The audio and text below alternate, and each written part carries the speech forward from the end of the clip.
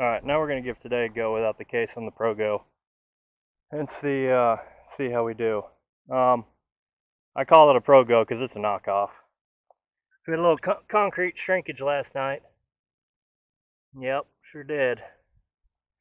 So I, I poured that one last night. Uh, I ran out of battery in the old ProGo, so turns out this thing just smokes through battery. It's kind of silly, but so last night I just went ahead and dumped uh, I mixed up a bag and just poured one in the bottom of these remaining three holes for today. That one, this one, and that one. Um, so yeah, I figured it would give me a base layer to build off of uh, for my levelness, and it'll act kind of maybe as a plug or a plunger, some dense bit that's got to get pushed down first. Because to me, all of this force is just going to be downward force. Um, unless we turn out to get smashed into by a tornado, which I feel is highly unlikely, but still got to build this. Um, yeah, so what I'm going to do here uh, with my 10 foot hunk of uh, tree carcass there, I'm going to grab my couple of foot level I have. I'm going to level across to here, probably pound in a stake uh, that I can put a nail in or something uh, at the 10 foot mark um, to uh, get level thus far and then I'll pull off of that to come to here. I think that will work for me. Uh, I'm not 100% certain, but in my head it makes sense. Uh, I phoned a friend last night and he gave me some advice too. He said it should work just fine. Otherwise, I'm really particular about this being level this ways. Uh, I think if the whole building is off by an inch or two, uh, it will be of little to no consequence. Uh, in fact, it might help water drain off the roof. But that's not going to be my intended purpose. If, uh, if it ends up that way, then it will be a feature and not a flaw.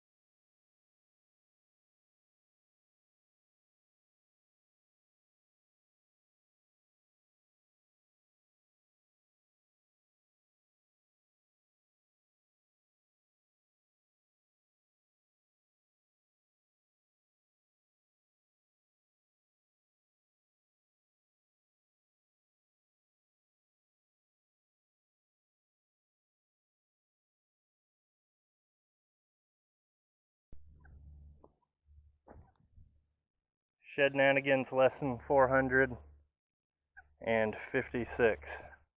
If you're going to fill some concrete in the hole ahead of time, thinking you're all smart and clever and stuff, uh, don't put too much concrete in the hole. So I just lopped off uh, two and a quarter inches of this because we're a little high yet. So learn from me, friends.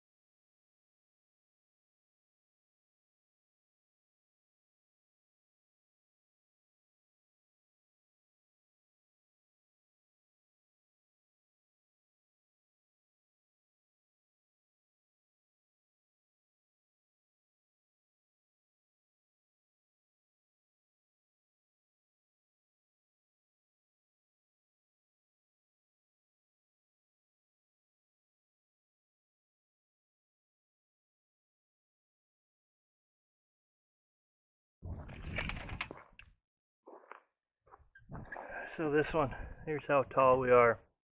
Too much extra, two and a quarter inches. Um, that's how much we were on the last one as well.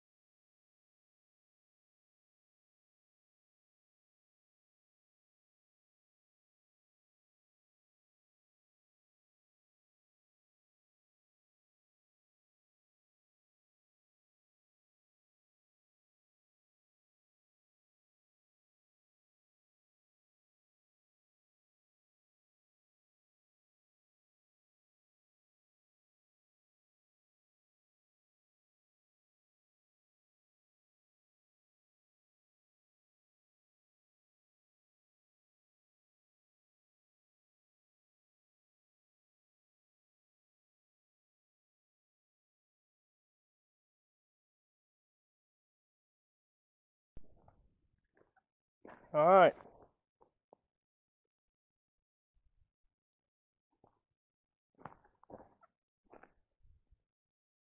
Oh, that one's got this still.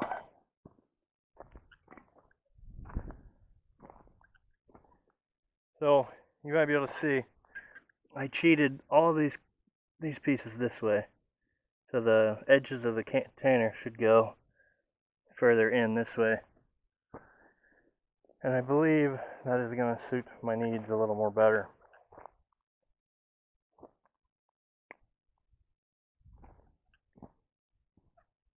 We will see. So maybe tomorrow I will drag the container over. I, I might need to put the door on first. So the door is going to go, we're going to walk out in between the truck and here and the door will be right here. So I don't think I'm going to have to use the tractor to help get the door in. And I might have to put the door in because there's not a lot of clearance clearance. Alright, and I'll pull, pull the strings up and start cleaning up and get rid of the trash bags and all that fun stuff. I was always pretty happy with my 2 before and my level. Uh, I have a friend with a transit. Uh, he was out of town. So, did it the old fashioned way. And I think it'll be good. Uh, I'm interested though. I've thought about asking him to pop over with it and just uh, just shoot these and see how close I did. But I think they're they're close enough for what I'm up to.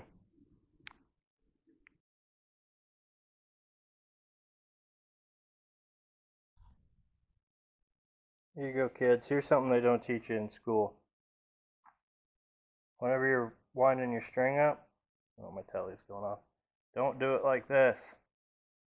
Because they'll bunch up, and then the ends will fall off either way, and you get a big giant knot. Don't do that. What you want to do is uh, X cross it. So, like so. If you do that, it'll pull off like you want it to. So I learned that uh, uh, from one of my buddy's dads. I learned that when I was a youngster and been doing it ever since with good success.